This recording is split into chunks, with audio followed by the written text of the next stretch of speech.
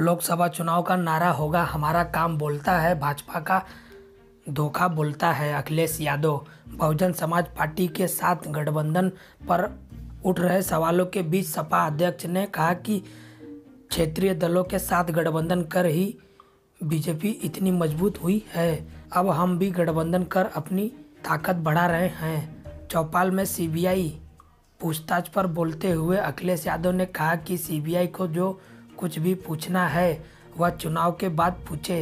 इस दौरान नया नारा देते हुए अखिलेश यादव ने कहा कि हमारा काम बोलता है, भाजपा का धोखा बोलता है। कन्नौज में अखिलेश की चौपाल कार्यक्रम में बोलते हुए अखिलेश यादव ने कहा कि कल समाजवादी पार्टी और बहुजन समाज पार्टी लखनऊ में प्रेस कॉन्फ्रेंस करने जा रही है।